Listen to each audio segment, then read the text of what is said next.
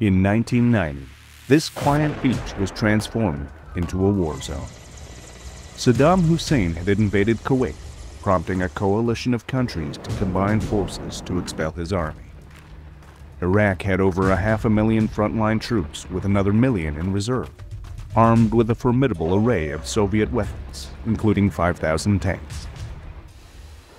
The USAF had an aircraft in their inventory designed specifically to obliterate Soviet armor and provide the much-needed support for the coalition ground forces, the A-10. Curiously, General Horner, commander of air operations, almost left it behind. General Horner was called in by General Schwarzkopf before the actual assault launch to review what airplanes were going to be there.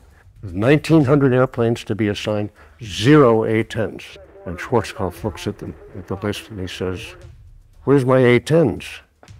And General Horner says, oh, oh we, we have, uh, uh, we, we have F-16 specially armed, they'll, they'll do the job. Schwarzkopf looks at it, says, I don't want to hear any of your Air Force political bullshit. Give me my A-10s.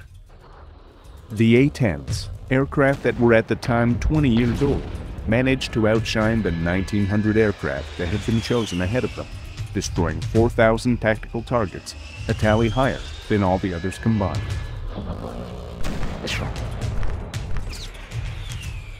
With such an impressive performance, why was the USAF so reluctant to bring the Warthog to war? What was it about this tank-busting machine that repulsed them so much?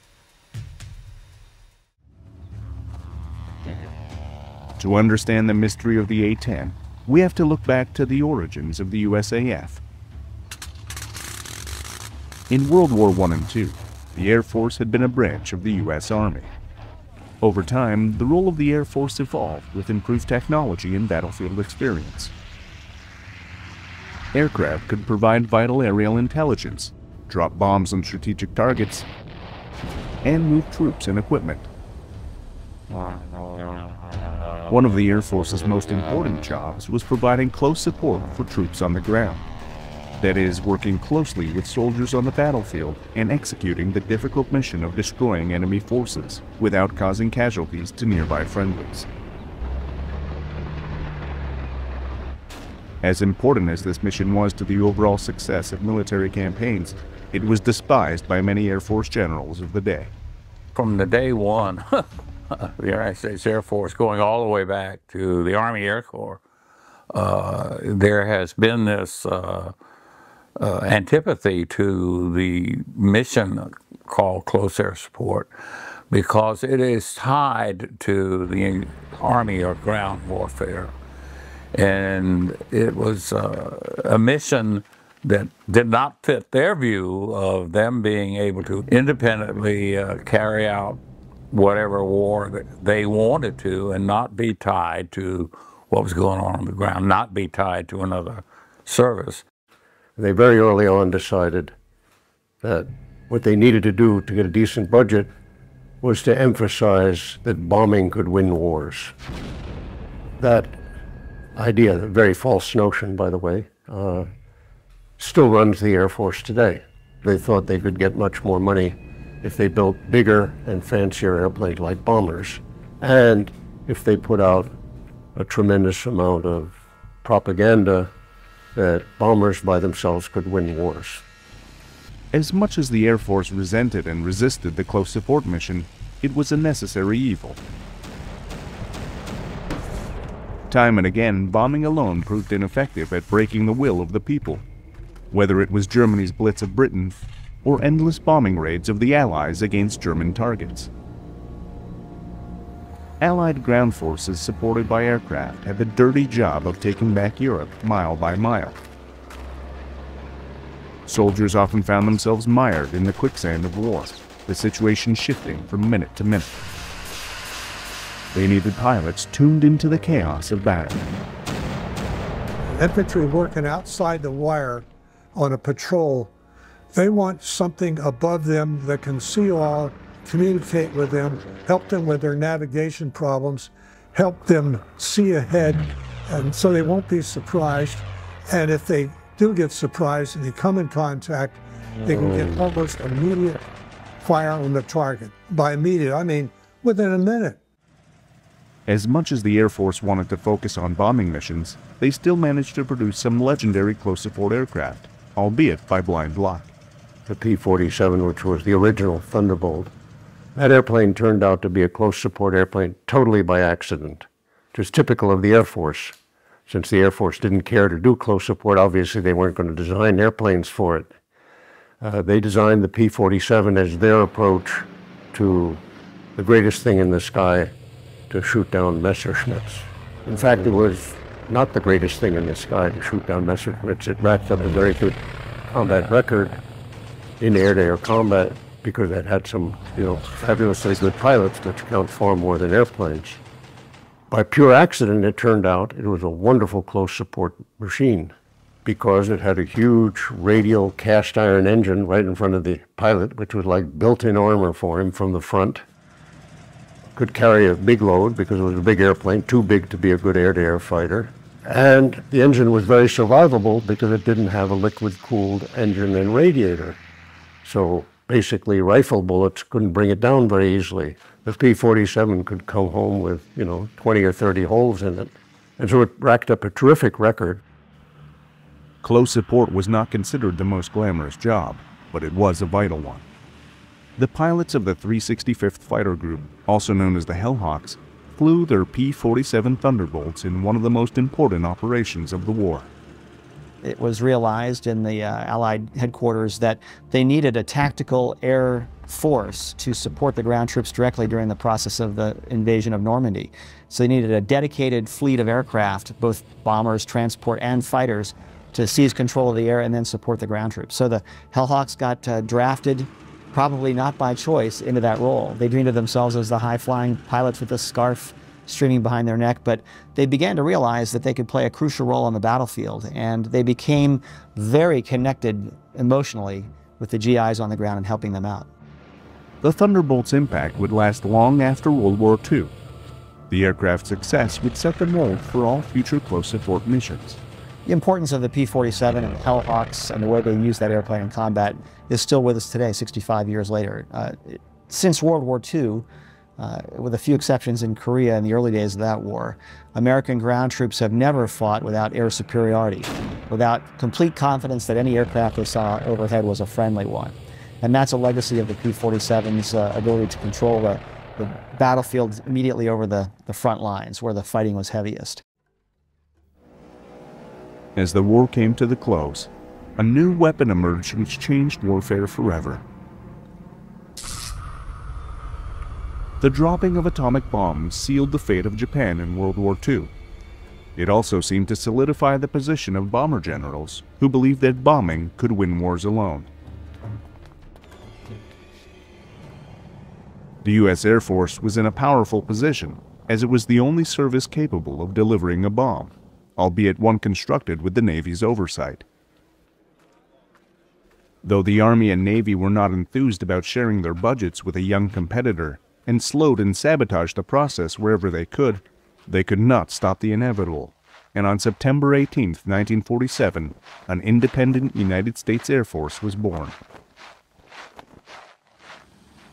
Though the Army and Air Force were separate entities, the Army relied on aircraft to operate to transport troops and equipment, and for the vital mission of close support. In 1947, a document was hammered out between the armed services to divide up the roles and missions of their respective fleets of aircraft. The Army and the Air Force had negotiated a set of unbelievably bad agreements. I mean, bad for the taxpayer and bad for the soldier, called the Key West Agreements, by which they agreed to divvy up air assets. The Army would be in control of all helicopters, and the Air Force would be in control of all fixed wing airplanes. And the deal was that the Air Force would not object to the Army getting very large numbers of these, would not object to them, you know, doing armed versions of them, and in return, the Air Force promised, we'll give you lots of close support. A young colonel, Avery Kay, took part in these negotiations. He was a highly decorated and respected officer, having navigated the lead B-17 in the Schweinfurt raids, a treacherous mission to cripple Germany's industrial might. Colonel Kay soon realized that navigating through the politics stemming from the inter-service rivalries was no easier. He was probably one of the most ethical officers I've ever known, a guy of enormous character and courage, almost to the extent of naivete, being just naive about, you know, about what bureaucratic chicanery is all about. He came to realize within a year or two after having served in these negotiations and written some of this language where the Air Force promised to deliver close support. He realized the Air Force had no intention of ever delivering that support. And out of conscience, he felt personally responsible and guilty that the Air Force had not delivered and that he had personally participated in a lie. And he dedicated the rest of his career to creating a close support airplane that would deliver on the promises that he had been part of. In just a few years, the USAF's short-sightedness when it came to close support became blatantly obvious. The Korean War was not decided with an atomic bomb blast. It was a grueling conventional war. Here, the USAF pinned their hopes on their speedy new jet fighters. They may have been state-of-the-art, but they were too fast and without the range to be effective close support aircraft. P-51 Mustangs left over from World War II were taken out of storage and shipped over as a makeshift solution. These aging aircraft suffered heavy losses as their engines were vulnerable to ground fire. The Navy and Marines, with their A-1 Skyraiders and F-4U Corsairs respectively, took the lion's share of the close support work, and they did so brilliantly. Close support was of the essence, particularly when troops were moving, when we were moving forward, or when the Chinese were pouring over the border and driving us back. The A1 was in fact a wonderful workhorse, shared the virtues of the P-47, had a big rotary engine up front to protect the pilot, was very hard to shoot down, you could put lots of holes in it, and because it had been designed to pull really big loads off carriers, had a very big wing, which allowed it to maneuver very well at low speed. That airplane did brilliant work, particularly in the hands of the Navy squadrons that had it. The USAF seemed blind to the lessons learned in Korea and oblivious to the idea that there might be another conventional war. In the years that followed, they continued to focus on building nuclear-armed bombers and jets in preparation for an atomic war with the Soviets.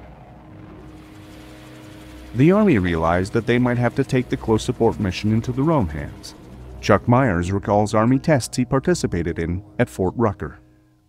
A lot of guys in the Army, particularly on the aviation side, felt that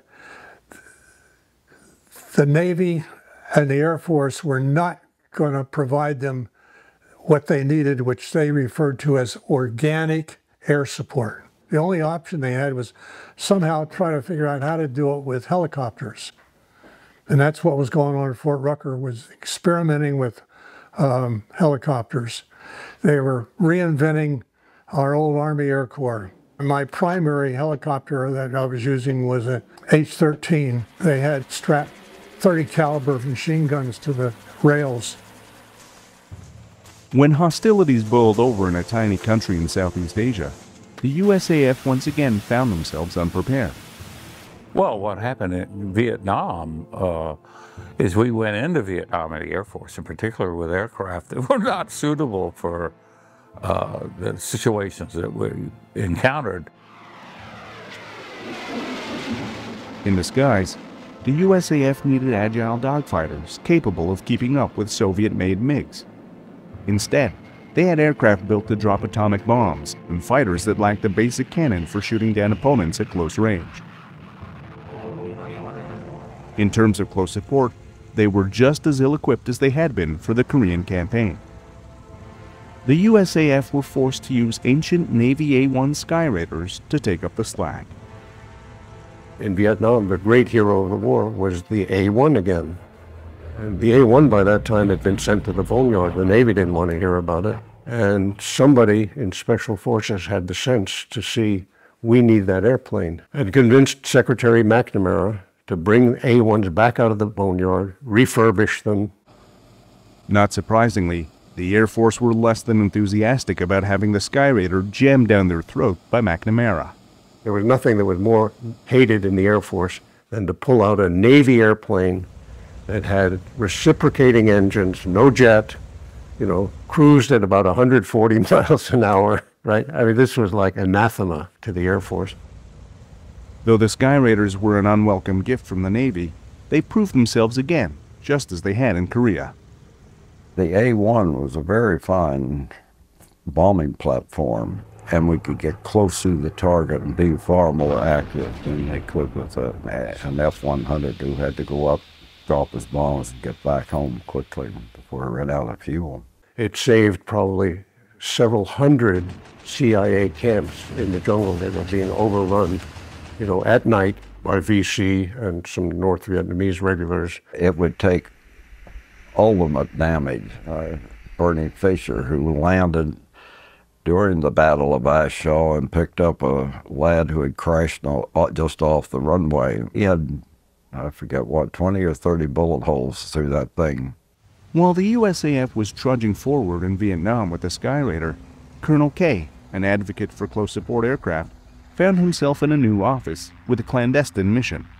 Colonel Avery Kay. He wound up in 1966 in an office, a staff office to the Chief of Staff of the Air Force at the Pentagon headquarters called Concepts and Doctrine. Concepts and Doctrine was a smokescreen. What it really was about was a, a term of art in the military called roles and missions. What roles and missions means is your job is to defend the Air Force budget against raids by the Army and by the Navy. At the time, the U.S. Army was in development of a costly new helicopter called the Cheyenne. It was built for the mission that the USAF detested close support. 50% more than the Air Force's most expensive fighter, the F 4, Kay recognized that the Cheyenne was a threat to the Air Force's budget. He also saw an opportunity to leverage the situation to fulfill the Air Force's old promise to the Army. He realized you know, if the Army does this, if the Army builds this super expensive $4.5 million helicopter, they're going to want a thousand of them at least. Where's the money going to come from? It's going to come out of the Air Force budget. Perfectly correct perception. He also perceived that this would be a powerful incentive for the Chief of Staff to develop a close support airplane to make sure that the Army didn't get all that money Kay's plan of creating a close support aircraft to thwart the Cheyenne filtered its way up to the Chief of Staff of the time, John P. McConnell. Though McConnell was a bomber general and loathed the close support mission, he had fears about relinquishing it to the Army. If you let the Army get away with that Cheyenne helicopter, you know, that costs 50% more than our most expensive fighter, that money's going to come out of your hide, and you're going to go down in history as the chief of staff who gave up the close support mission. Of course, no chief of staff wants to do that. They're all very worried about their legacy. March on, start developing a close support airplane, make sure it's cheaper than the Cheyenne, and make sure it's much more lethal and much more survivable so that we have a real case that the money should go to our airplane. Given the green light to create the USAF's first purpose-built close support plane, Colonel Kay had to build the brain trust that would help shape the aircraft specifications. At the time, Pierre Sprey was working for Secretary of Defense McNamara, analyzing the USAF's aircraft inventory in Europe. I've been assigned to do are we wasting our money on airplanes in Europe? Are we doing the right thing? Are we buying the right fighters to stop 90 or 100 divisions of Soviets from sweeping over Europe? That was the number one threat in the U.S. military strategy at that point. My conclusion was we are wasting our money. We need to stop buying so many bombing airplanes. At that time, it was called interdiction. We need to focus on close support, on actually helping our defending tank troops and anti armor and so on with airplanes that can do the job right at the point of battle. That made me public enemy number one of the Air Force instantly.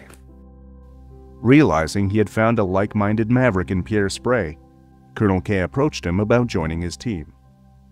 He says, Mr. Sprey, I've read your paper. Uh, I see that you're a big supporter of close support and you think we should be spending lots more money on it. I've been assigned through my boss and the Chief of Staff has approved that we start a great close support airplane. He says, I'm stuck because the entire Air Force is sabotaging me. The rest of them don't want to do it, just the Chief of Staff. And we badly need help. We have no real technical people. Will you help us? There was no way in conscience that I could turn him down. It was such an absolutely correct thing to do and so badly needed. I said, I'll help you in any way I can. To help Sprey and Colonel Kay develop the ultimate close support aircraft, they enlisted the help of A-1 pilots fresh out of Vietnam. Their first-hand experience working with the Army would prove invaluable in creating the new aircraft, then simply known as AX. Tom Christie, who helped examine potential contenders for the AX's weaponry, recalls the passion of Kay's group. And so I can remember coming up to Washington TDY from Eglin Air Force Base, which I did quite often, and uh, meeting with Pierre Sprey, uh, you know, eight or nine o'clock at night in the Pentagon, and I'd show up and he'd have uh, five or six Air Force officers, you know, that were part of this cabal. Uh, and the one in particular that I remember was a guy that named Avery Kay. And they wanted to make sure that the Air Force did not go wandering off and make the same mistakes they'd made in previous years. They wanted an aircraft that was dedicated to and designed for close air support. The, the interesting thing is, you would have imagined that an airplane born in this kind of sin uh, you know, designed to simply kill an Army helicopter couldn't possibly become a good airplane. But the interesting thing is for us down in the trenches trying to shape this airplane once we had the Chief of Staff's approval is these were absolutely ideal circumstances for creating a really good airplane at very low cost. I mean, normally you're, you're told include this technology, you got to include that radar, you got to include this piece of junk, make sure it's plenty expensive so that the contractors get lots of money. You know, whatever you do, don't make it cheaper than the last airplane. Know, those, that's what really shapes airplanes today. We have the dead opposite because our instructions were make the airplane much more lethal, much more obviously lethal than the Cheyenne helicopter, make it much cheaper, and make it much more survivable. That's exactly what you want to do for a close support airplane. So out of the political mayhem of the Pentagon budget battles, we actually had marching instructions that, you know, the designers would kill for. Pierre Sprey, Tom Christie, and Chuck Myers all pushed for the development of America's first close support plane. In the 1970s, these renegades would bond into a group known as the Fighter Mafia. Together with other like-minded officers and defense analysts, they battled against the establishment to help create the best aircraft to meet the demands of war within the restraints of the government's purse. Though they had their critics, more often than not, the fighter mafia were proven to be right. Sprey worked closely with contractors, including Northrop and Fairchild, and reviewed hundreds of designs in the quest to make the ultimate close support plane. But what exactly are the ingredients of such an aircraft?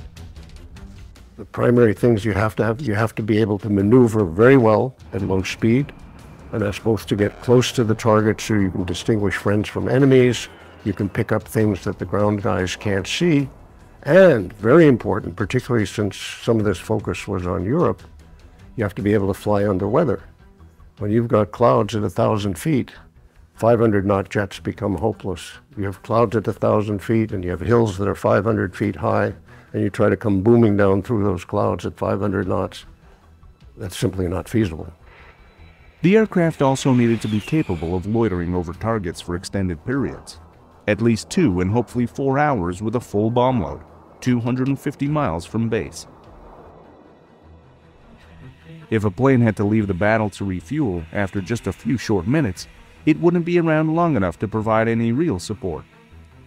The A-1 pilots were adamant about this, and about the need for an excellent radio communication system.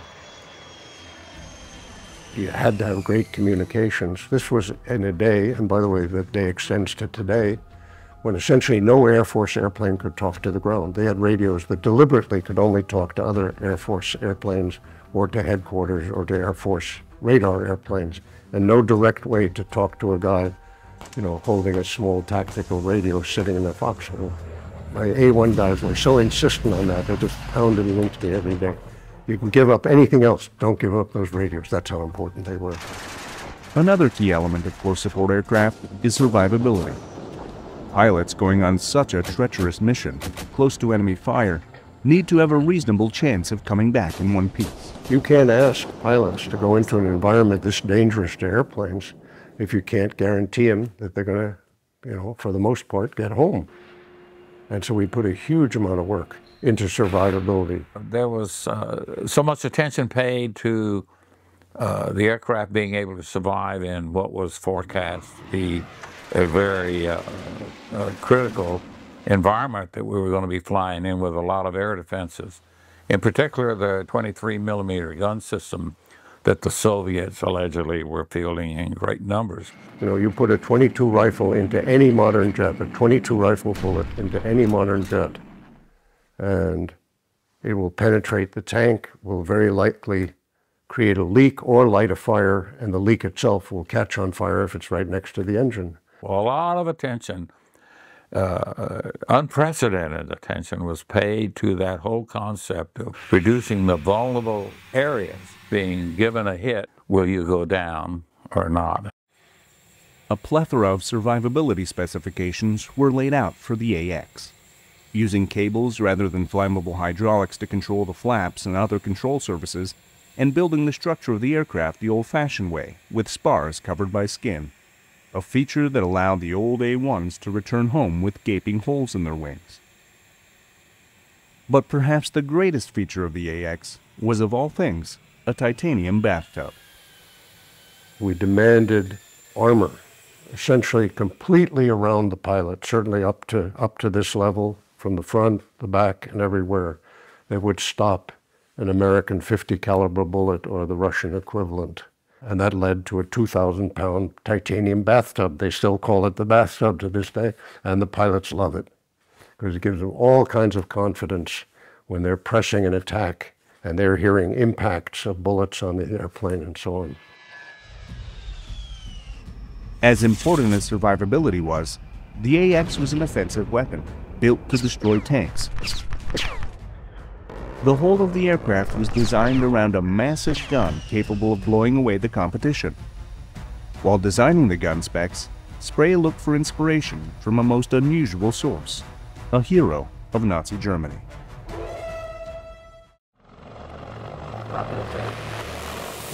In the 1960s, the U.S. Air Force had a helicopter in their crosshairs. Surprisingly, it did not belong to one of its opponents behind the Iron Curtain, but rather the U.S. Army. The costly Cheyenne helicopter, built by the Army to support its troops, was seen as a potential drain on the Air Force's own projects. To counter this rotorcraft, the Air Force began drawing up the specifications for a new close support plane known as the AX. It was an aircraft and mission the Air Force really didn't want. However, the team at the Pentagon behind the AX saw things differently. They saw supporting troops on the ground as one of the most important missions, and they set about to build what would become one of the Air Force's most lethal weapons.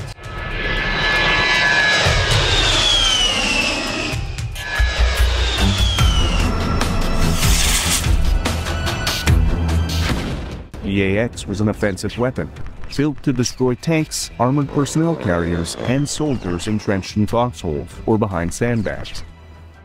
The whole of the aircraft was to be designed around a massive gun capable of blowing away the competition.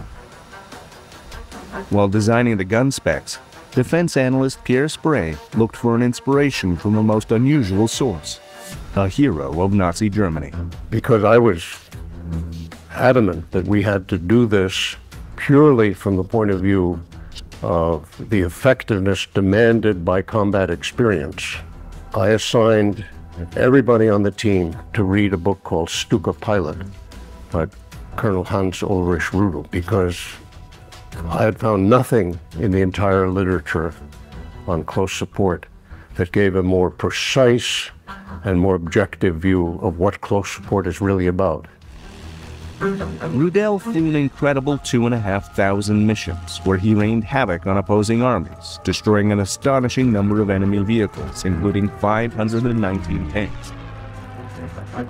His tank busting aircraft of choice was a specially modified Stuka, armed with two 37mm cannons. Sprey began a worldwide search for a caliber of bullet powerful enough to pierce Soviet tank armor, while not so large as to make it unwieldy for an aircraft to fire. He found the perfect bullet in the land of fine chocolate and watches, Switzerland. Munitions manufacturer Oerlikon produced a devastating 30mm round, which penetrated with Swiss watch-like precision. Now that Sprey had found his bullet, he had to figure out a way to fit a thousand rounds worth on the AX. The massive amount of ammo was housed in a drum three quarters the size of a Volkswagen. Of course, when we started sizing the weapon, see how big it was, a huge ammunition storage, because we wanted enough ammunition for 20 repeated passes. See, that was part of the long loiter, long endurance. It's not just hanging around, you also have to hang around and be dangerous, have weapons. Carrying so much ammo and such a powerful weapon, the AX might be best described as a flying piece of artillery. Though the 30mm shells were potent and capable of penetrating the thick Soviet armor, they wouldn't necessarily stop a tank in its tracks. At that time, a new type of bullet was in development which packed a depleted uranium punch. Depleted uranium has exactly the same properties as magnesium. When you hit with a high velocity, you actually light off the metal. Metal burns inextinguishably, just like magnesium does in a flare this thing is so incendiary that if you just have grease, the normal grease that's in the in the in the sump under the engine, you're very likely to light the tank on fire because there's burning fragments everywhere once you've penetrated. By 1970, Sprey and his team had put together all the specifications for their AX aircraft into a concept formulation package. The tremendous amount of work they did paid off. The USAF, still eager to kill the Cheyenne helicopter, approved the plans, as did Secretary of Defense McNamara and Congress. The U.S. Army with the Cheyenne and the USAF with the AX weren't the only ones fighting for a piece of the government spending pie. The Marines had a futuristic close support aircraft of their own, the AV 8 Harrier. Chuck Myers took part in an evaluation of the three designs. The group leader turned to me and said, well, we need a plan. Who are we going to visit? Who are we going to talk to about this subject? And I said, well, I think we probably ought to start with the Marine Corps because they probably know more about the subject than anybody else. They have great, great interest in air support. I set up the meetings for them over at Marine Corps headquarters, and our little group went over there. Uh, and we spent a whole morning listening to Marine Corps expound on the subject. And of course, they were pushing this thing called a Harrier, which, if I could think of an airplane least appropriate for close air support, that would be it because of its vulnerability to small arms fire. Myers soon realized the bomber generals in the USAF weren't the only ones who had antipathy for the close support mission. We all convened for lunch and it broke up into two groups. And I remember sitting at a round table having lunch with a Marines, a couple of Marines, and uh, one of them was a colonel. And I never forget the colonel saying, he thumped the table and said, Boy, we hardly wait to get our F 14s. And the other guys in my group looked at me like they're F 14s. They were no more interested in close air support. All they could think of was they were going to get the F 14 along with the Navy. Everybody wants to fly fighters. Nobody really wants to do this horseshit mission down there in the dirt. While Congress evaluated the aircraft available for the close support mission, Sprey's paper airplanes were turned into prototypes. When it came to testing, Sprey once again carved his own path. I had felt very strongly all along that the right way to do this was to get prototypes built, two or three prototypes by each company, and have a real firing sh shoot off a competition, a fly-off. The A-9, A-10 were the two entries into the AX program, which was our first uh, foray into a fly-off. Uh, that was a different approach. Four aircraft, two from each company, were flown over a period of, of many months at Edwards Air Force Base. That had never been done in the Air Force before. They built lots of prototypes, and people were very reminiscent and very nostalgic about how great it was when we built it. But they never flew against each other. They were kind of engineering models. They went to Edwards Air Force Base. The test pilots flew them, clocked how fast they flew, how long, how high, how fast, and then kind of on paper compared them to other airplanes. We didn't want that. We wanted a real competition where you went and did the mission as realistically as you could with two manufacturers fighting it out, and the guy who did the mission best would win. Northrop and Fairchild Republic were given a little over a year to construct three prototypes each, two flying and one in pieces just for test fire experiments. The possibility of being struck by ground fire was a reality of the close support mission, something not factored into the designs of most jets of the era, which made them vulnerable to attack. Sprey challenged aircraft manufacturers Northrop and Fairchild to design planes which kept the volatile fuel supply and the hot burning engines as far away from each other as possible. While Northrop buried the engines next to the fuselage, Fairchild came up with their own innovative solution. Fairchild came up with a superb solution. They have the engines out on pylons away from the fuselage. Uh, there's no there's no fuel between the engines. All the fuel is way forward in the wings, and it's brought a lot of pilots home. There would have been in airplanes that were burning and crashing. Sprey once again rattled the establishment, this time with his choice of test pilots. We had the shoot off at Edwards Air Force Base. Half the pilots were test pilots. This was another huge battle. Half of them were fighter pilots, real pilots, you know, which was crucial because we were going to do so much bombing and strafing. That's not something that test pilots, you know, are particularly adept at. Uh, so that was another revolution, another bureaucratic mess. Of course, the test pilot community has their own little sacred cows. So these two airplanes were flown first by company pilots and then turned over to a team from the Air Force to go through a whole procedure in flight and in other logistics analyses, the whole bowl of wax. It was an extremely close competition between Northrop's A9 and Fairchild's A10. It was hard to choose a winner before counting up all the bullet holes and tallying up the scores on each test. I had thought that Northrop was going to win because they had a somewhat slicker design, a little better aerodynamics.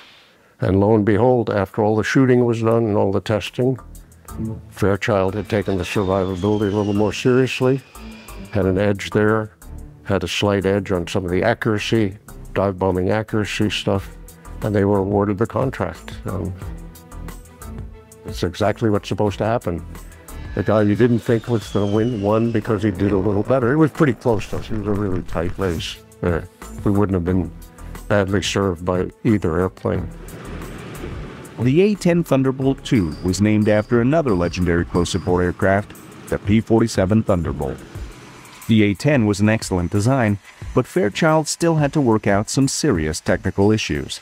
We were doing all the follow-on tests on the A-10, uh, primarily gunfire when you were firing guns, the engines would get would quit, and when the engine would quit, it would be very quiet. I mean, you didn't hear it wasn't like a compressor stall where it makes a lot of noise. It would just the the temperatures would go up on the engines and you know, ruin them, or the, and the RPM would come down. So I flew thousands and thousands of rounds at the ground to try to solve this engine problem. The problem with the A-10 with the engines were twofold. One with the gun gas going in the engines and causing the engine to quit. The other one was uh, pulling high angle attack or high turn rates because the airplane had good handling quality, so nothing bad happened aerodynamically. But the engines couldn't stand the lack of the air. So the solution to both problems was to put continuous ignition on the trigger. So anytime you fired that, the continuous ignition came on to both engines. So if it quit, it restarted immediately. And also high angle of attack, an angle attack. So ignition comes on uh, at high angle of attack. The engines keep running. Well, they don't keep running, but the pilot doesn't know the difference. With the A-10 selected for production, the Air Force found itself in an unpleasant situation. Their motive for supporting the A-10 was always to kill the Army Cheyenne. In 1972, that became a reality.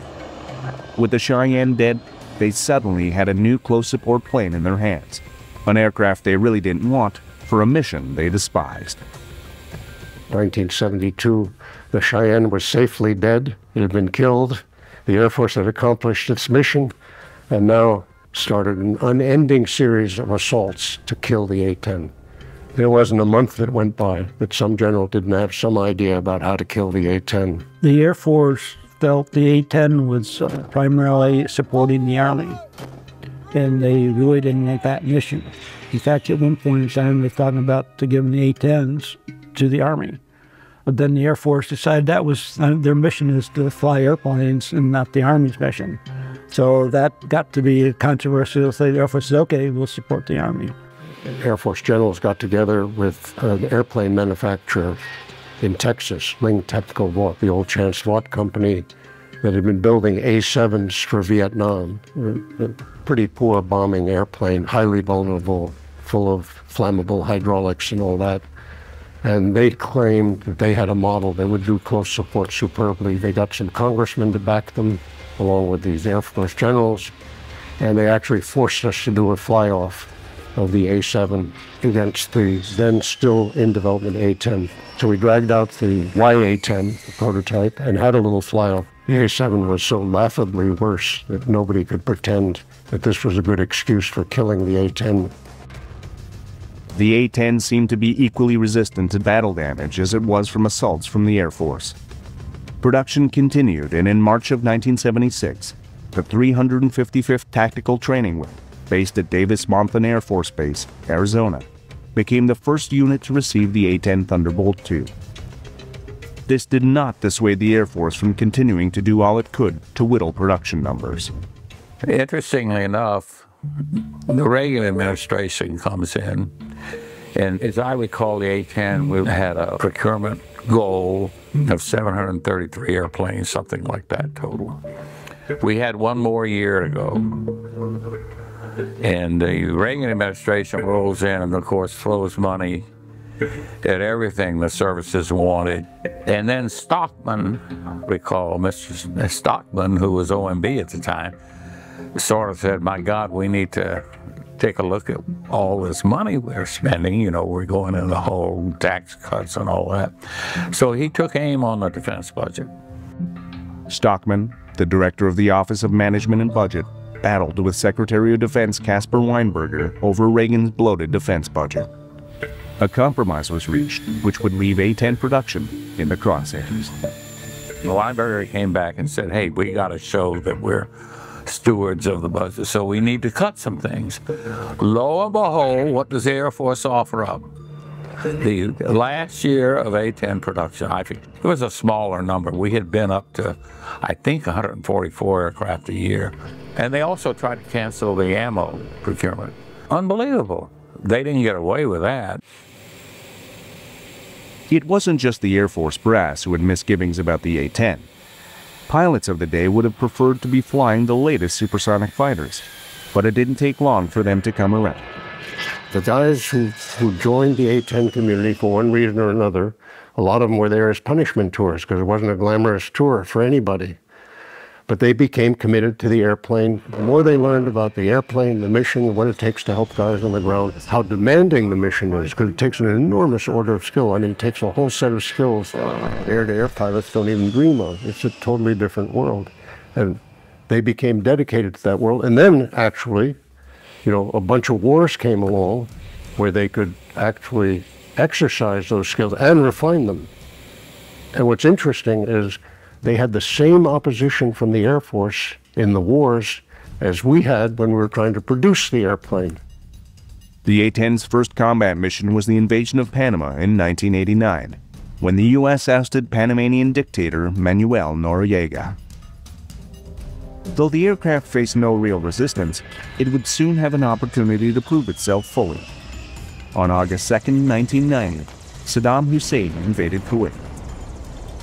There was international condemnation of the event, and the Iraqi dictator was given a hard deadline of January 15, 1991, to withdraw his army. Coalition forces built an impressive armada of weapons to push Hussein out of Kuwait, including 1,900 aircraft. Curiously, General Horner, commander of air operations, almost left the A-10 behind. General Horner was called in by General Schwarzkopf before the actual assault launched. And Schwarzkopf looks at the, at the list and he says, Where's my A-10s? And General Horner says, "Oh, oh, we we have uh, uh, we we have F-16 specially armed. They'll they'll do the job." Schwarzkopf looks at it, says, I don't want to hear any of your Air Force political bullshit. Give me my A-10s. General Schwarzkopf recognized the abilities of the A-10 as a tank buster and close support plane. It had been built to destroy Soviet tanks, and the Iraqis had more than 5,000 of them. He made a wise choice. The A-10 destroyed more tactical targets than all other aircraft combined. Even General Horner could not deny the A-10's excellence, at least temporarily.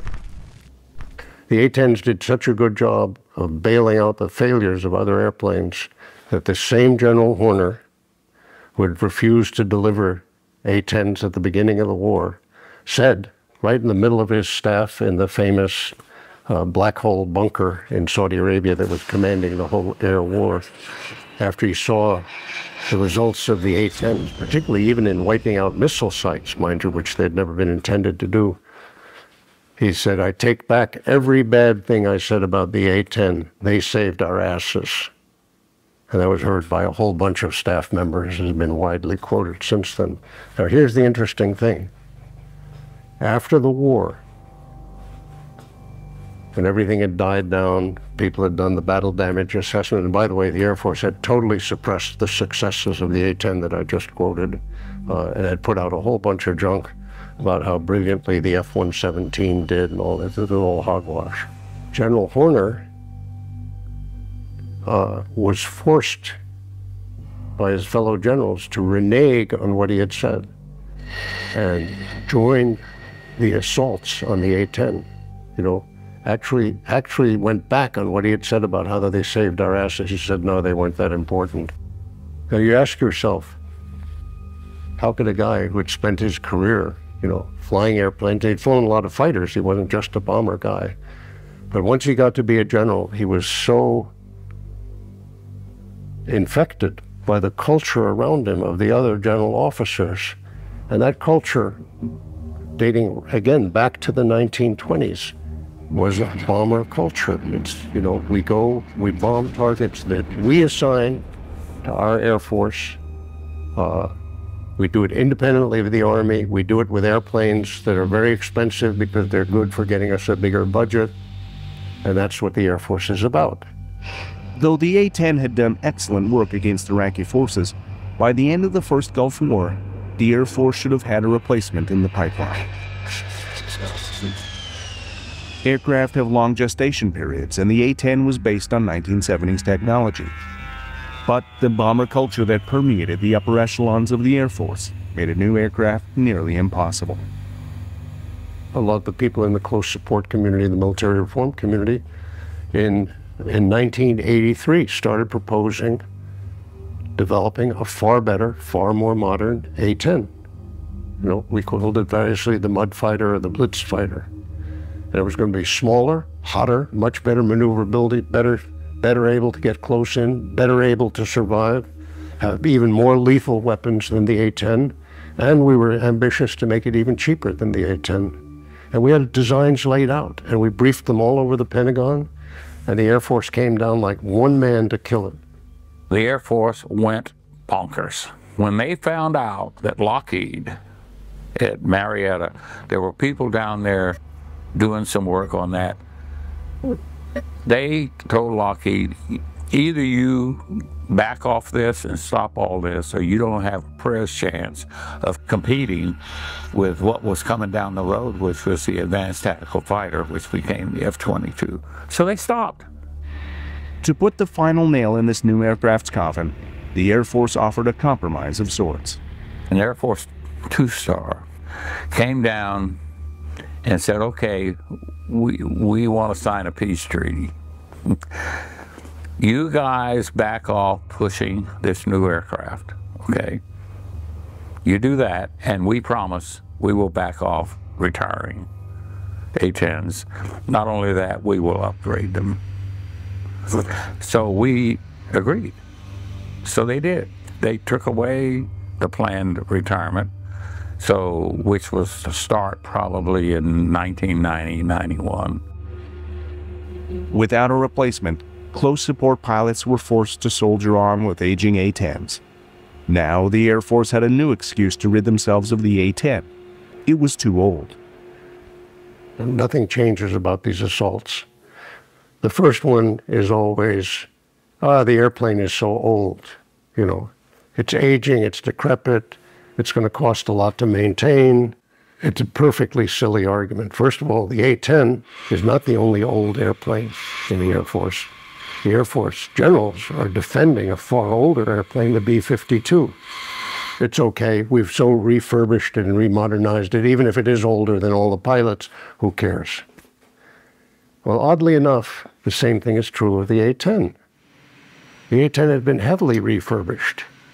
In fact, it's an amazingly modern airplane now. First of all, most of the fleet has been re-winged, although the Air Force is now trying to steal that money for the F-35, the re-winging money. But most of them have already been re-winged and will be good to 2040.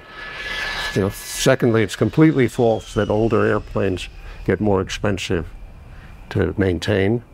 The older airplanes, B-52 included, are vastly cheaper to maintain than any of the new airplanes that, that replace them.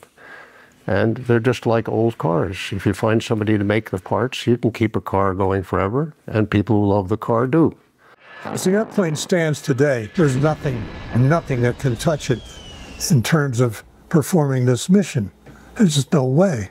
It can do all the things that the ultra high tech systems can, like F 15s and F 18s and so on. It can do all those things just as well as they can, but it can work the other end of the spectrum down low. In lack of anything else, I would open the line and build more A-10s. From the invasion of Iraq to Afghanistan to the war against ISIS, the Air Force has been equally reluctant to bring the raging warrior to battle with them. Though the A-10s took part in the initial assault on Iraq, they were mothballed from 2003 to 2007. The USAF tried to rely on F-16s and other fighters to hit targets on the ground, but they were often inaccurate and caused casualties amongst friendlies. It wasn't until 2007 that the Air Force was forced to concede they still needed the A-10, an aircraft originally designed for a jungle war. The A-10 was a, a Vietnam follow-on because all the airplanes in Vietnam didn't have much fuel to stay around the target area. And of course, Vietnam was over, but it turns out now that the A-10 was perfect for Iraq and Afghanistan because it can loiter for long times. It's got plenty of ammo. Uh, that gun is absolutely outstanding as far as uh, the 30 millimeter. You put the pepper on the target, and the first dozen bullets go there. You know, no question. That's where they go. Like the USAF, the Russian Air Force has a dedicated ground support aircraft of their own, the Sukhoi Su-25, an aircraft with an uncanny resemblance to Northrop's A-9. Introduced in 1981, it is still in production, and with multiple upgrades it continues to support Russian troops and the troops of buyers from around the world. The Russian Air Force does not seem to have the same hangups about close support as the USAF, and in 2015, the Su-25 was brought into Syria to combat ISIS. Rather than create a new dedicated close support aircraft, the USAF is pinning their hopes and dollars on stealth multi-role fighter, the F-35. This versatile aircraft was designed to handle the missions of not only the A-10, but also the F 16 and F 18 and AV 8 for the USAF, Navy, and Marines. Critics of the A 10 label it a single purpose aircraft, but could a jack of all trades master any of these missions? Here we are now with the A-10 obviously now 40 years old, 30 to 40 years old, uh, though it's still got life. Uh, and we have one program going, F-35, and that's going to fill all these missions. And that, that's just outrageous to even, you know, think about that. Multitasking is a huge waste of money because it leads to enormously expensive airplanes. Instead of that quarter billion dollar airplane, we could have a great close support airplane for $20 million or 25 million. We could have a great fighter, air to air fighter, for 30 or 35 million. And then we could have whatever else you need, a reconnaissance airplane or some other, those other kind of missions that maybe it does. We could have one of those for 30 or 35 million. Okay. It's uncertain when the F 35 will be able to take over for the A 10 and how effective it will be. Though the A-10s have been upgraded into the most advanced close support aircraft in the world, the USAF is almost embarrassed to bring them to front lines as they battle ISIS and prepare for a potential conflict in the Ukraine. I agree with the Air Force, you know. It is a disgrace that we're flying that ancient airplane, and it's their fault. Because we should have been started by the mid 80s, we should have been started prototyping something that was better than the A10 and then let it prove that it was better. If it wasn't better, then we wouldn't build it. Know, we never did that because the Air Force never wanted to do that mission. Over the years, the A-10 has proven itself the premier close support aircraft in the world. Sadly, it has also become a symbol of the strife between the branches of the armed services. The A-10 was authorized by the Air Force as a means to destroy an Army helicopter. Though it ended up doing an exceptional job supporting the Army, from day one it has been under attack from within. The A-10 still has its detractors, but the resilient aircraft is ready to prove itself if given the chance. As each branch fights for its share of the defense budget, perhaps they are blinded to the bigger picture, that they are at war with their enemies, not each other.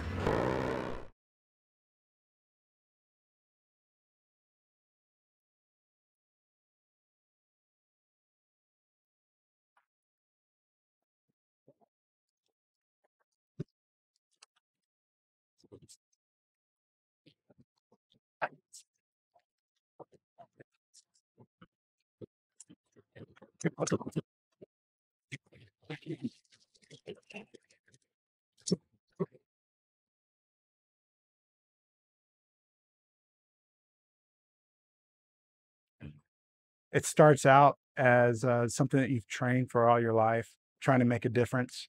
The cool thing is, as an A-10 pilot, on times when the stars align and you're up on that mission uh, where you get to make a difference, you get to see the reward. It's a pretty easy answer to in terms of why are we here. Number one priority is always saving guys on the ground. The people that we uh, so closely work with, the, the guy on the ground. That's my whole soul and being is that guy on the ground. Uh, you know, he could be an 18 year old guy, 18 year old kid with a rifle. That's all he's got, and I'm here to protect him. Sanitized dog tags, ID card, left breast pocket, ED kit, watch tape, smart tag, flight guides, maps, BTTs, RMMs. Uh, let's see, visor, fiddle packs, water, snacks, seat fish, if you guys want to take that. Uh, cell phone, you got one? You have yours? Okay, signed up. Yep. One random Friday, uh, spring of 03, so right after the uh, uh, the Iraqi invasion, uh, three guys in flight suits walked into the bar on campus and started talking about flying. I was a year away from graduating, not really knowing what I wanted to do in life. And this guy started talking about flying fighters and uh, being a fighter pilot, being in the Air Force, and how awesome it was. And uh, it kind of uh, hit, a, hit a nerve with me, if you will. Jet. All right, uh, Texan. How I got interested in the A10, uh, I can still remember it to this day. Uh, it, I was at a uh, a hobby store because I, like a lot of kids interested in aviation, I built a lot of airplane models. And this was 1979. I was in, in high school and went to the hobby store and they had a Revell model of the, the for then brand new A10. Uh, it, it had only been operational for a couple of years at that point. And I just saw, and I remember, I can still remember this day looking at the the wall of models and just trying to pick what I was going to build next. And I saw this the box and the picture, and I was like, "What in the world is that?" during about the last month of pilot training is where you put in for what airplanes you want to fly. And I was torn on the F-15E or the A-10, on which one I wanted to put number one on my list, you know. So luckily, uh, uh, one of the respected IPs in our flight had flown both the A-10 and the F-15E. And all he said to me was, Mitchell, what patch do I wear on my shoulder on Fridays? And the patch he always had on was the A-10. So I ended up putting the A10 as number one, uh, and I loved the mission, the thought of the mission at the time, and and now uh, looking back on it, I clearly made the best choice of my life on uh, picking to go to the A10, and then of course I was blessed and fortunate to get picked up by the Air Force to go fly the A10. So that's how I am right here.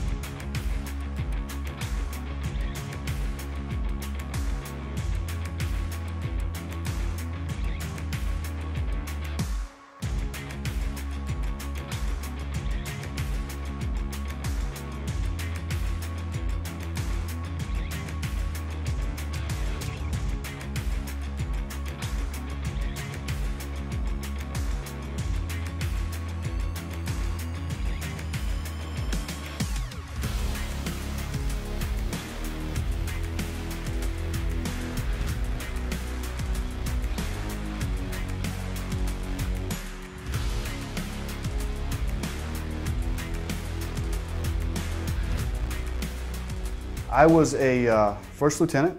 Uh, I was 26 years old uh, when, when Desert Storm kicked off. The 26-year-old fighter pilot caught the nation's attention a few months ago when he and a partner shot down a record number of Iraqi tanks. You just never forget when you look down and realize that somebody's trying to shoot you down, and you've got to, to, uh, to kill him first. My first uh, full two years in the Air Force, it was pretty much a completely Cold War type of uh, mentality. Our training was all very low altitude. Um, it, it's, uh, it doesn't seem that long ago to me, but uh, I know talking to a lot of the guys now, you know, they're, it, it, it's uh, been quite a while ago. And, and, when you look at the airplane from then to now, it's, it's pretty amazing the different upgrades and, uh, that we've gone through since then. The A-10 is the only airframe ever that was built entirely for this mission. Yo, come on, man. They're about to do a gun run. You need to get down. Let's go, buddy. Come on, man.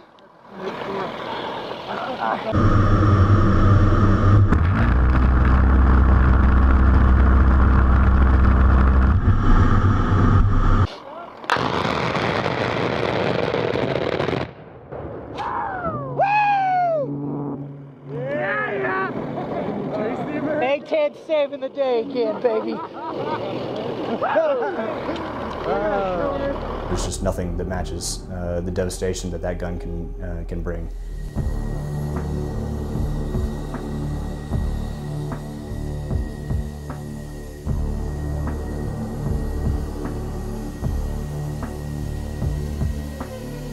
For the clear hot. 30 mil inbound!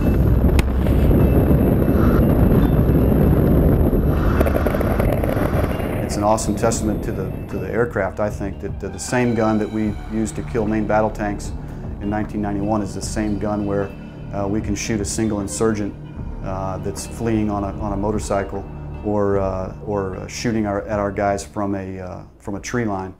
Point is, you know, the A-10 was built for ground combat, okay? Ground combat has, we had the old linear battlefield type where we're gonna go fight a bunch of tanks going low at 100 feet, and then we've morphed into a medium altitude precision strike platform because the airplane has been updated and modified to be able to do that. Sensors are great. They're amazing. They, they enable precision strike. They enable us to generate coordinates that, that are pristine, that are right on the target.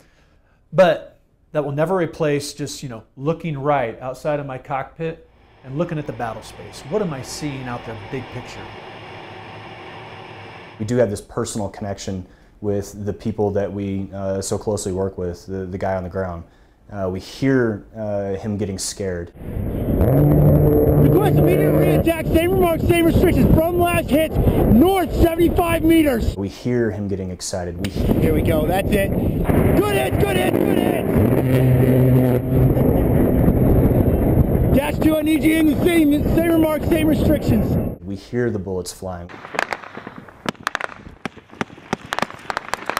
We hear him taking cover. We hear him breathing hard.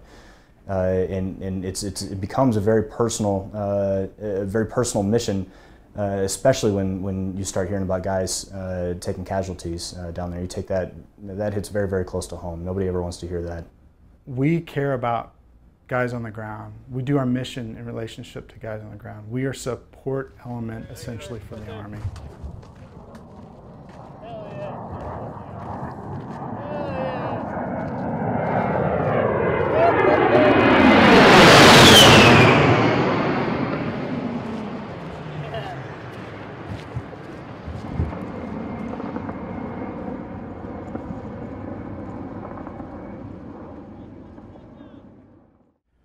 We care about the guy on the ground. I'm not saying air interdiction mission isn't caring about the guy on the ground, but it's not tangible. You can't really grab the benefits of it right then. You're going to wait uh, a certain amount of time to see its effects. Air to air, how's that about the guy on the ground? Well, you're building air superiority, air supremacy, correct. But is the guy on the ground going to see it, get the tangible benefits of it? No. Close air support is about the guy on the ground. Combat search and rescue is about the guy on the ground. Um, we're joint. We're a joint airframe and an air force, and that's what makes us different.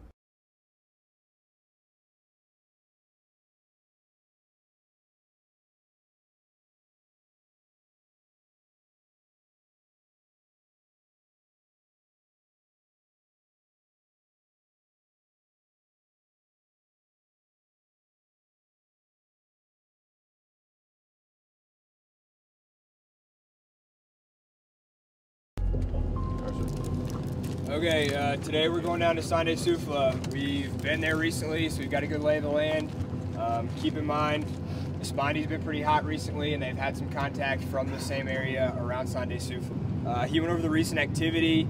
Keep in mind the uh, kind of MO we've had recently out of there. They've seen the, the Taliban commander kind of looking at the objective first, doing a quick meeting, picking up weapons en route. Usually there's motorcycles involved. Uh, you've also got the uh, Taliban commander that they uh, seeked a couple weeks ago. So you've got all that stuff going on right there in Espondi. We're going right into the heat of that. So keep that in mind as, uh, as we get down there. Keep your eyes open and uh, stay vigilant. All right, so our actions on contact, near and far ambush, return fire. Look to me, we'll either maneuver or we'll push through. IED, get 360 degree security and clear the danger area, and then we'll look to CASEVAC. Uh, in the case of a complex attack, we're going to return fire, move out of the kill zone. Indirect fire, get down, look for uh, distance and direction from me. Our actions on halt, take a knee, face out, and uh, the march intervals that we're going to use are going to be dependent on where we are. Uh, in the open area, spread out as much as you can. The bigger we can look and the more intimidating we can look, the uh, less likely we're going to take contact as we move down there. That's all I've got. What are your questions? All right, we're kidding up 0615. 0615, kids on.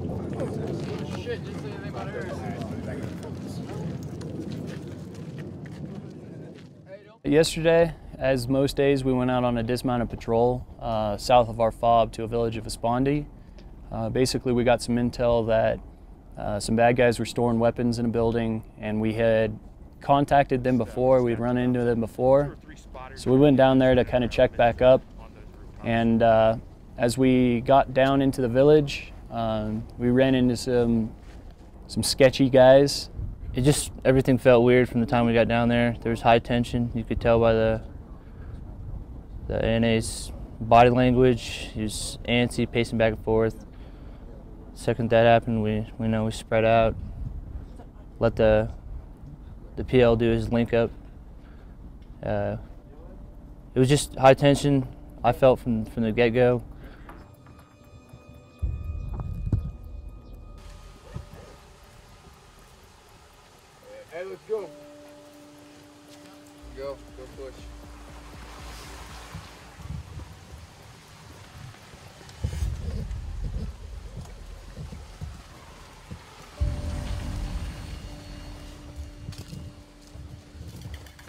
نفر که بندی خود زد، اون صف نفر است. اگر ترفتی پیداش پیداش کنه گفتی با من میز کیافتی یعنی کیافتی خدمت دی کاش کاش کم تکم I said everybody is teachers here, so we are good people. Okay, if they're, blah, tell them blah, if they're blah, good blah. people, they have nothing to worry about. We're not, gonna do- we're not Yeah, I gonna take told them in. him. but- just a lot of a lot of uh, sketchy reports. No one had uh, the same same story. Everyone they were all family. They all lived in the same compound, but no one's story matched up. Unfortunately, we weren't able to detain them. Um, so as we started to uh, to RTB to head back to the base, um, we got word that the Taliban were maneuvering on us from the south. Again, Commander 92A, be advised right now uh, we're uh, picking up and moving back uh, through Esponde uh, towards uh, Ghazni.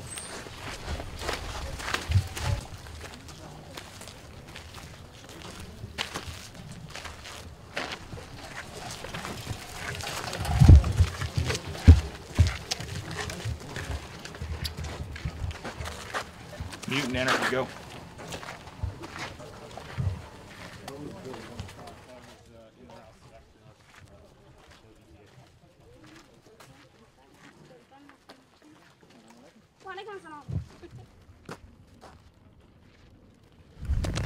So, that way. And uh, Hog, if I could get you uh, overhead of our uh, lead element uh, through Espondi, if uh, at all possible.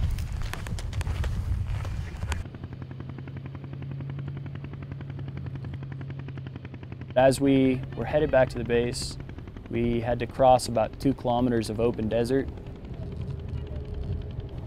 We were definitely in a huge open danger area.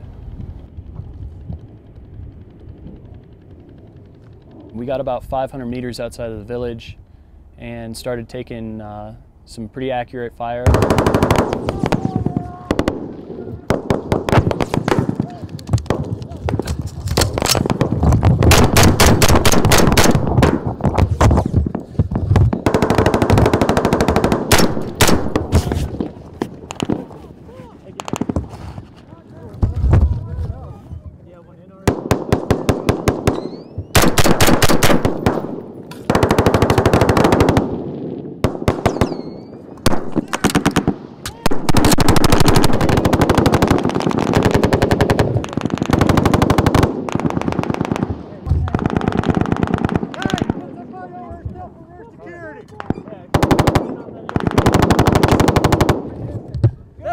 That white building! Two four, two seven, send it. Oh, three, can I fucking hang it! Hang it!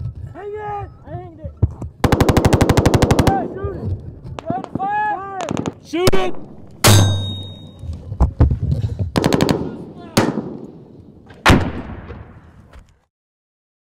There was no cover.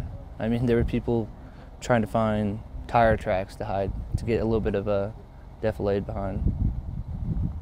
Uh, you know, in, in that position, the best you can do is spread out, gain fire superiority, you know, and then wait for for some air support. Our comms were a bit of an issue at the time, and so they had a little bit of a struggle, uh, but they did have uh, A-10s luckily being pushed down to us. I have your position south of the tree line. We were quickly responded and uh, working with the JFO on the ground and, and uh, one of my JTACs were able to get Hog on, on station quite quickly. We were taking some harassing fire at that point. Right here. Commander, busy, but I need full security, brother. Who's shooting? Somebody's fucking shooting at us still. Uh, but luckily, we had uh, the A-10s on station to uh, come in and do a nice show of force, which is always a, uh, a clincher for the enemy because they know what that entails.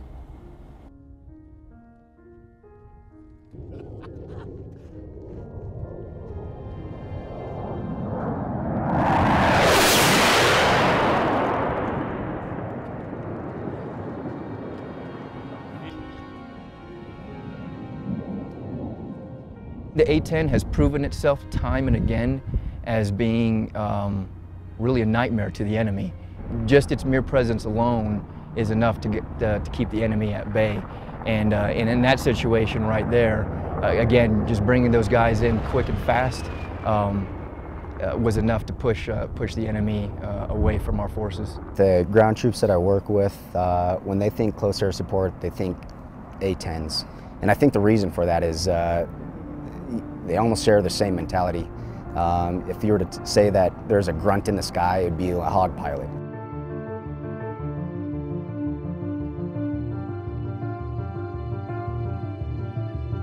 They're very user friendly. I mean, any one of these dudes could pick up the radio if I get shot in the face and, uh, you know, employ. Those guys are really professional, very well trained. And if, uh, you know, you have a random Joe who doesn't know what to do, those, those guys can pull it from them.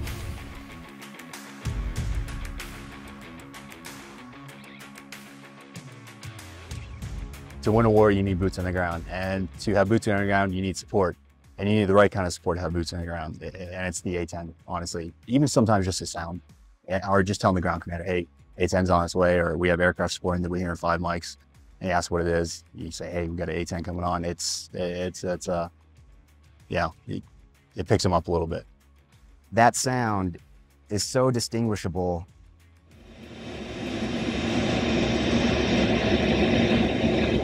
Literally shakes the ground. It is amazing. Uh, you hear it first when it fires, and then you hear it echo from the gun in the sky. It, it, that sound right there just drives 11 Bravos nuts. It's amazing.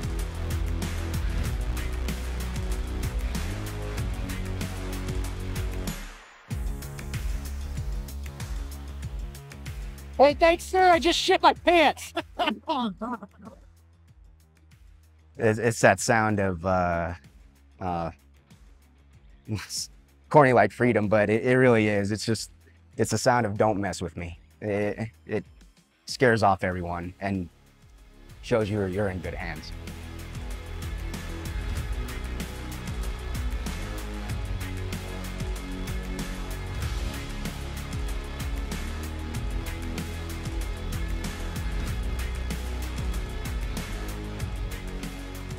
I think when people 10, 20, 30, 40, 50 years down the road look back on it, I think people will look at this airframe and it will always be known as an airframe that was, some people view it as ugly. Who'd want to fly that thing? But you know what? It was an airframe that got the job done. It got bombs on target when it mattered most, and guys went home to their wives and kids because of the airframe. It, it makes it, uh, it's very humbling. It's the, uh, we are so trusted and, and liked by the ground forces. I think that's something that uh, I'm very, very proud of. They love this airplane uh, and, and uh, they trust us is the biggest thing. I mean, when you're shooting last night, uh, we just looked at it, it was uh, between 65 and 100 meters away from the, from the friendly guys. And for those guys to, to trust us uh, to do that on a regular basis is, is very gratifying. I got the greatest job in the world, man. I get to fly fighters when uh, when people need me to do my job. I have the chance to save lives uh, and and make a difference on the battlefield. Um, that is the mo- when you when you hear the, the machine guns going off in the background when JTAC's screaming, the bullets are hitting in his feet, and you can hear the bullets pinging off the Humvee that he's hiding behind. Uh, and then all of a sudden you roll in, uh, you know, put some rounds down and take care of his problem for him. Uh, and then you know you can hear the relief in his voice. That is the most rewarding fulfilling thing that I can think of. You've got a huge group of experts in what they do with a singular focus, and you can't really get that back once it's broken out.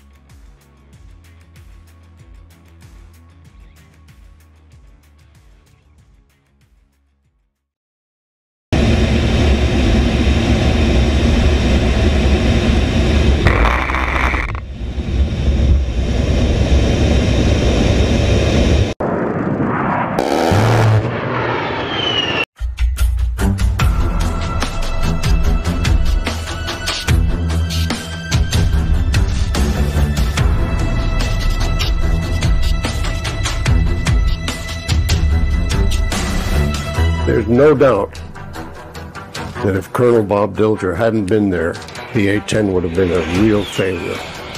He saved the cannon program, basically by being a bull in a china shop.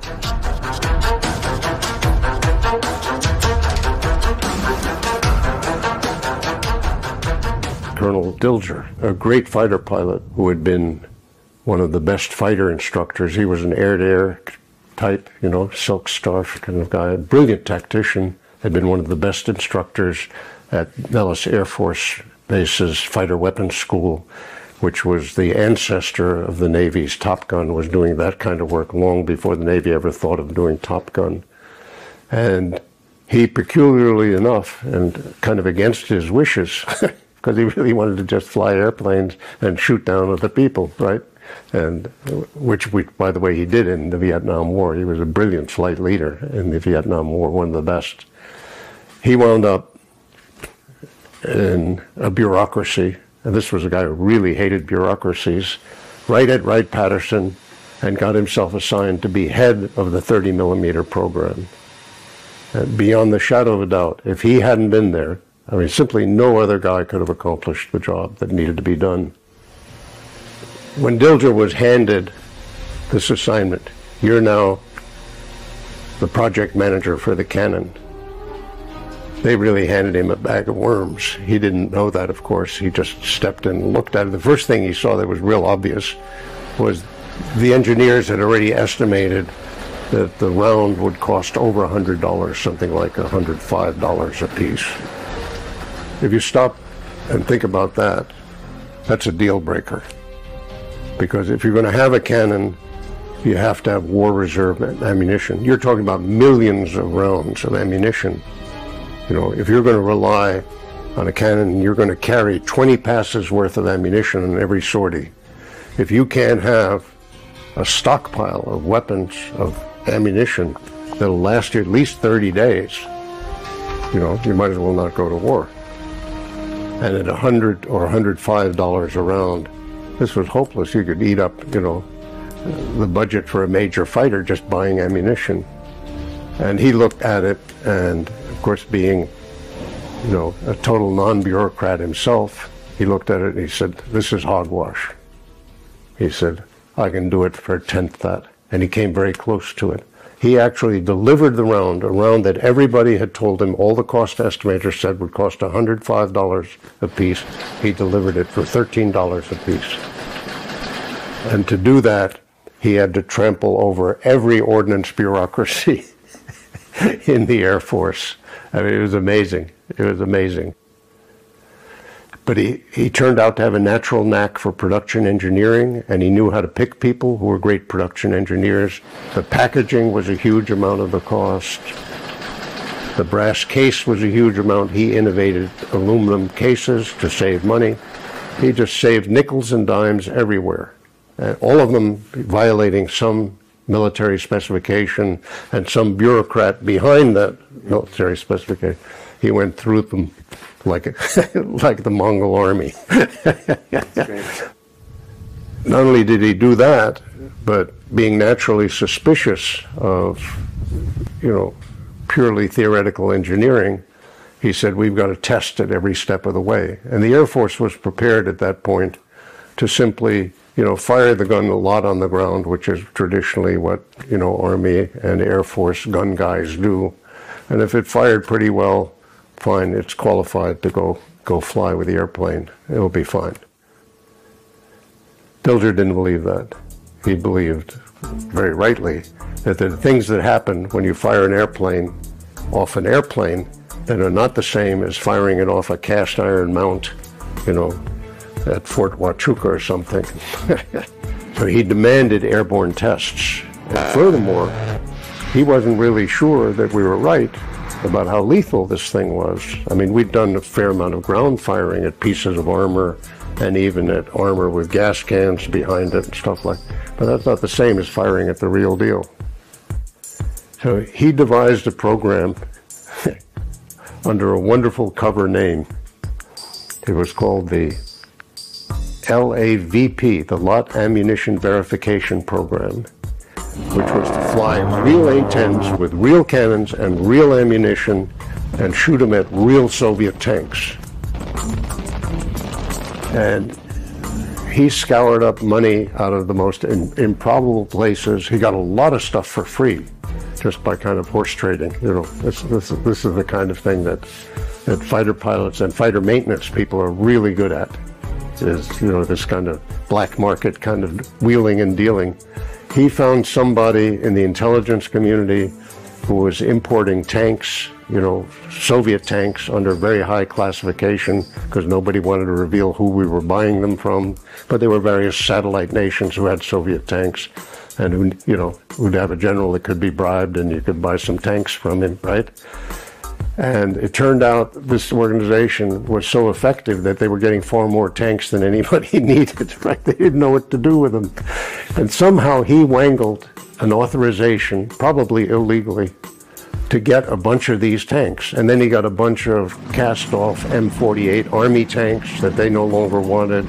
He assembled the fifth largest tank army in the world. He had close to 400 tanks out in the desert in Nevada. He'd even wangled some Marine maintenance battalion. Somehow he got next to them to fix his tanks because he said these tanks have to be loaded with ammunition, they have to have fuel in them, they have to have oil in them, and they have to have engines that can run, right? Otherwise, they're not real targets because of the issue of fire. Fire is so important.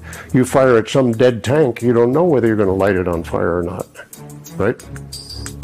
So out in the desert, outside Nellis Air Force Base, he assembled the fifth largest tank army in the world for live A-10s to come in and shoot at. We learned so much from that program. The first thing we learned was that if we had sent the cannon to combat with this approved ammunition and everything, it would have failed the first day of combat because there were some real problems with, first of all, the gun gases were in fact obscuring the vision of the pilot. Secondly, they were causing the engine to fail. There's such huge gun gas being developed out at the muzzle and was blowing straight back into the engines behind the cockpit. They were actually causing engines to shut down, to have compressor stalls and all this kind of thing. But once you had made your live firing passes, the very first ones, the problems were real obvious. He got on it, he changed the formulation of the of the propellant a little to reduce the smoke. They got a different deflector for the muzzle gases so that the gases wouldn't go into the engine. And thank God we're able to solve those problems, but only because we'd had that fifth largest tank army to shoot at. And by the way, he installed cameras inside the tank so you could see the inside effects.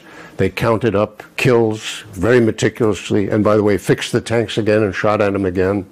And we found out the cannon was devastatingly lethal, much more lethal than any anti-tank weapon available up to that time, much more lethal than the computer models had predicted, because the fire was so devastating. And we were getting like tank kills of well over 60% per pass, which was astonishing.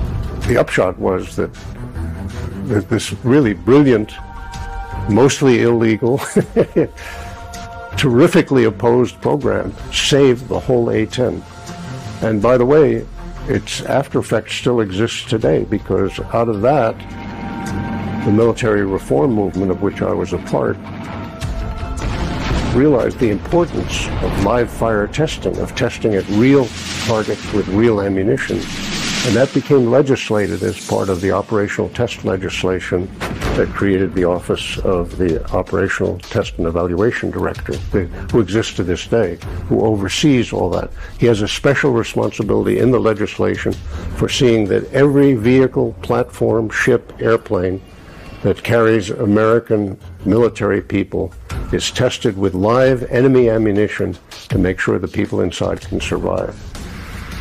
If it wasn't for Dilger's stolen tank army, the entire A-10 program would have been a failure, and we would have never had the live fire testing that we have today demanded by the Congress.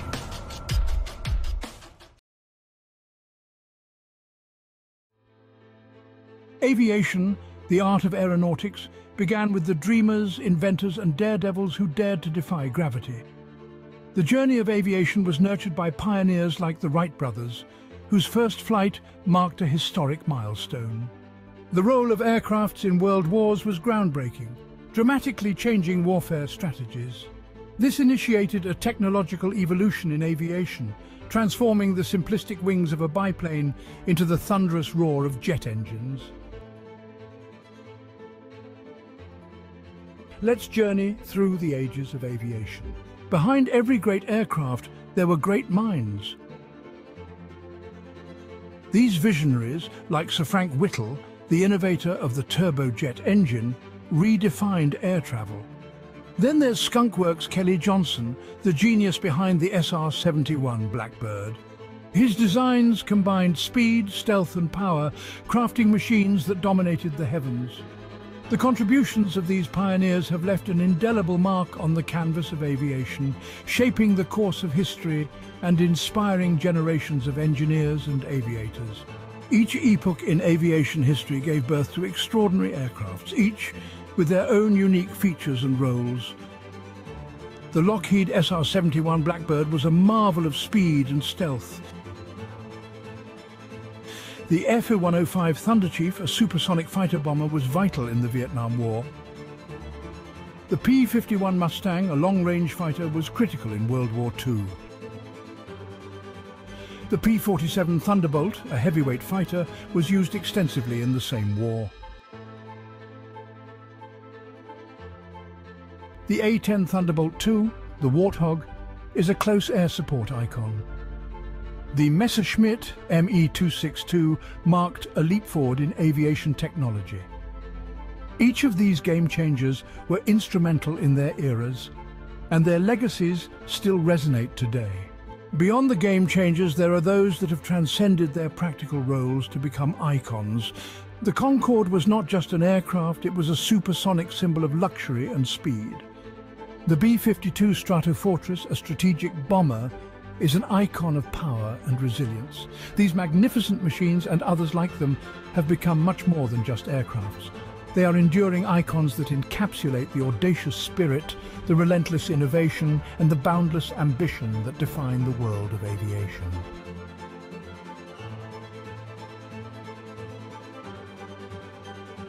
For more amazing aerial footage and to join us in this incredible journey, check out the Dronescapes YouTube channel. If you enjoyed this video, please remember to like and subscribe. And as always, thank you for watching.